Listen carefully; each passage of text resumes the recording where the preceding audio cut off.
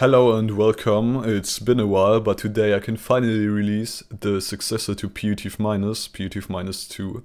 Getting this out took way too long. I completely finished two other Universal Tree farms in the process of making this, which both turned out to be fundamentally flawed, so I decided to make this here just an instructional video and release a more detailed video about the design process later because there's quite a lot to talk about. And you guys really seem to like PuTief Minus. Uh, Doc M even built it on Hermitcraft, which was really cool to see. But PuTief Minus 2 is not only smaller and cheaper, but it also fixes some of PuTief Minus's uh, major problems. That means it can farm cherry trees, which weren't released back then. And it's not directional. That means you can rotate and mirror it however you want and it will still work flawlessly, which is really nice. And I also try to reduce the use of block types, containers and weird rail placements, which should make the build process a little easier as well. Alright, so here's how to use the farm. First of all, you will need a stack of your desired sapling. You can use less, the farm will always return enough, but it's good to have a buffer. And let's say I want to grow oak, so I switch to oak mode, I can turn the farm on already. And now you will have to wait until this flying machine comes down. And after you hear the TNT, can start placing saplings. So we'll hop in here. You can just press the button or activate this drop trapdoor manually. And then you can sneak and start placing against this dispenser. So right now I'm aiming here. But in Acacia mode you can have leaves generating here that means you will have to aim here. You can switch modes while the farm is on, as you just saw. Just not while placing trees. Um, or while anything inside here is moving. Or it will probably break and do not use the wrong tree with this farm or it will break as well. So the items come out here. Right now we have carpet hopper counters, but you can replace this with your storage of choice. And we have a um, bone meal unloader here. So put your shulker chests with bone meal in here and they will the empty ones will come out here. If you decide to build this farm in the overworld, you will need a roof like this tree here in the world download.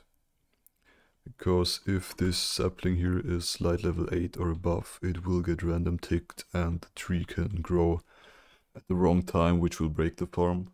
And also I do recommend that you build it above Y0, because in oak mode, you know, you can grow large oak trees that have branches. And the problem is that um, if you grow oak trees below Y0, uh, the height limiter will need to be one block lower um, because it for some reason it can still grow big oak trees with branches and it will break the farm in oak mode. So another few important things when building this. Um, this farm has slime here and here at the outside so you will need to make sure that there is a non-sticky block or just air or else it will probably break as well. And I highly recommend while building this farm to place obsidian here or any other immovable block. You can use furnaces, signs, whatever. Just so you don't accidentally activate um, these leaf crushers and block pushers because if they break it's it's quite annoying to fix and we don't want that obviously. I speak from experience. Um so and another thing is this farm has quite a few buts for example this one if this breaks it's really bad. You just activate it normally it will not break. But if this happens for example as you can see it will not go down. So you will need to remove this piston push it back manually and then you can replace it again. And I highly recommend you either build this here first and then extend this piston or just place this piston and with all of these as well. For example here, um, if you place this, it will always update this piston and just push it up. Just so you don't activate anything while building. After building, it can happen that this one here ends up in this state. So you will obviously need to check this if it's correct in your schematic verifier and if not you can just push it down again. And after building, obviously remove this obsidian again. And I recommend doing that after you put in the minecarts. And I will show you now how to put those in. And it's easier to do this while building the farm and not after you build it because you just have a lot more space. Just place it and push it down, place the sign back as easy as that. This one is quite simple as well. Just place it right here, nudge it in a bit. It does not have to be precise. If you ever nudge it in too far, you can just nudge it out a little. And we have another one down here, so we'll remove these blocks. Place a wall here. And push the minecart against it. Remove this.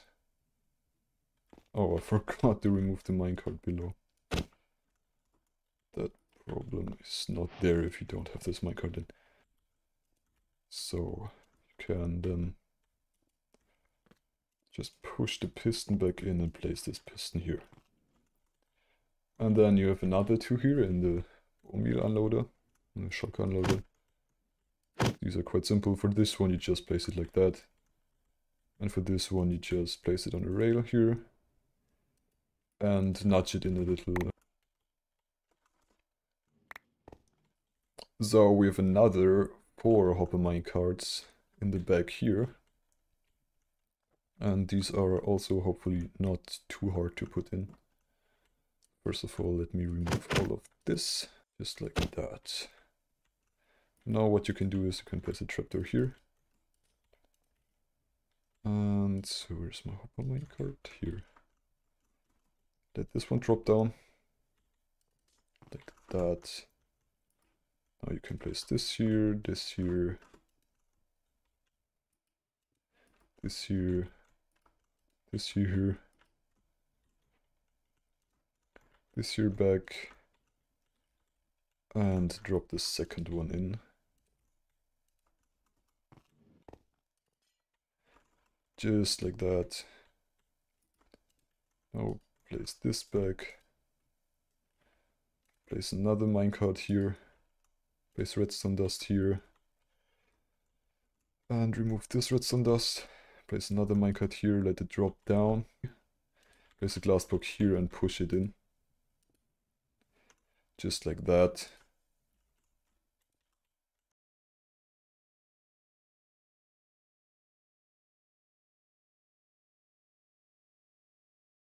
And now you can just place these blocks in here. Like that. And you're good to go after you move the obsidian. Alright, that's it for today. I hope you enjoyed the video and that this farm will serve you well. If you have any questions, let me know in the comments or DM me on Discord. I will make sure to answer it and I'll try to uh, release the explanation video as soon as possible. Bye bye and see ya.